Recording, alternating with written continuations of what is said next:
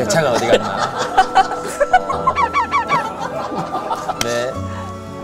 걱정이래가지고 내가.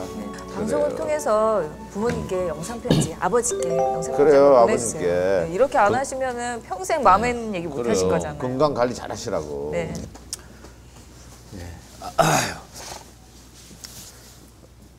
아버지 편지 잘 받았습니다. 아, 제가 최근에 어, 아버지한테 화도 많이 내고 또 제 마음 속에 없는 그런 표현을 아버지 건강 때문에 아,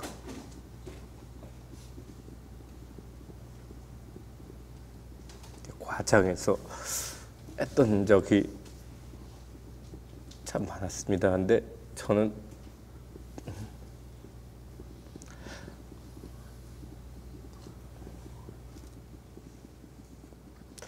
아버지가 워낙 힘들게 사셨고 어려운 형편 속에서 어, 저희 네 자녀를 키우시느라고 애 쓰시는 걸 많이 봤기 때문에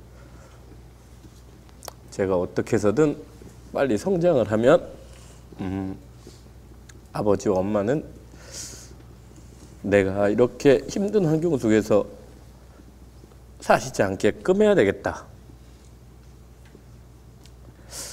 제가 그래서 어, 최선을 다해 살았고 그리고 어쨌든 아, 여기까지 왔는데요.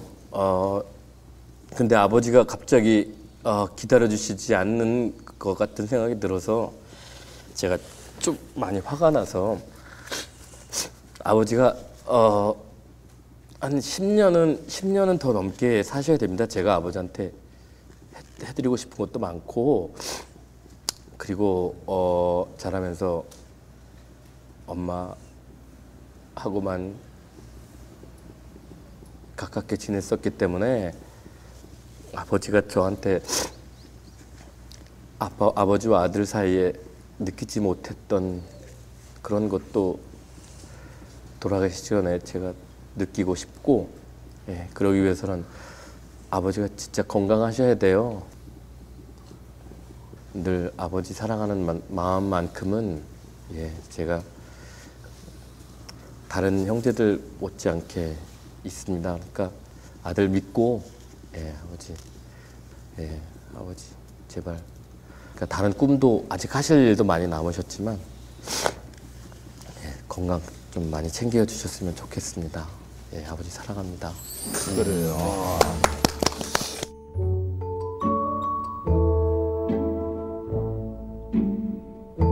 사실 그 뭐 우리 아들들이 이제 그 표현하는 방법이 서툴러서 그렇지 사실 그 아빠에 대한 그 생각들이 다들 깊어요. 네.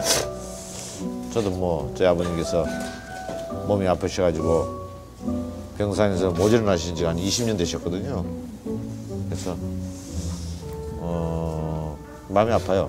전 두 개 들으면서. 네네. 자, 부모님을 위해서 정말 7.8기 오뚜기 정신으로 네. 아나운서 시험 일곱 번 만에 합격하셨다면서요? 예, 제가 시간상으로 한 5년 걸렸던 것 같아요. 이야. 예, 5년 정도. 그러면 그 공중파에 입사하기 전에 다른 방송국에서 좀 일을 좀 했습니까? 꼭 스포츠 전문 채널이 그때 유일하게 네네. 하나 있었어요. 네. 그 한국 스포츠 TV라고. 네네네.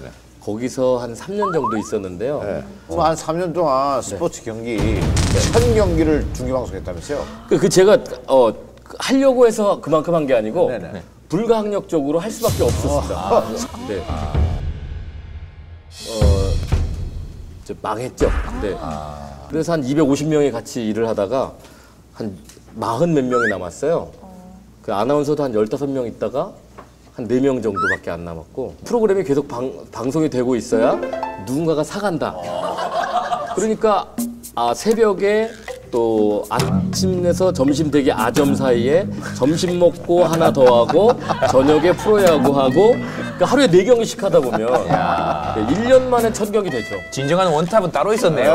네. 자, 완전 원탑하신 거 그러면 아니에요? 조금씩 좀 맛만 좀 보여주세요. 아 종목별로 네네네. 아그 당시에 그랬습니다. 지금은 뭐 한 경기를 준비하면 준비를 많이 하지만 네, 그렇죠, 그렇죠. 그때는 준비할 시간이 없는 거예요. 새벽에 야 성주야 농구 농구 농구 농구 여러분 안녕하십니까? 여기는 장충체육관입니다. 지금부터 연세대학교와 고려대학교, 고려대학교 연세대학교의 농구